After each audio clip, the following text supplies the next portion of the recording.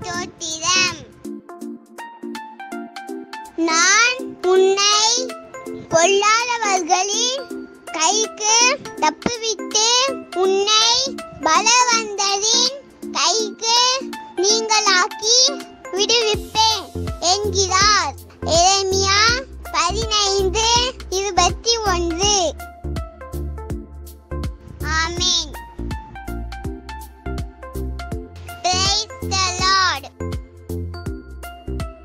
And I will deliver thee out of the hand of the wicked, and I will redeem thee out of the hand of the terrible. Jeremiah 15 chapter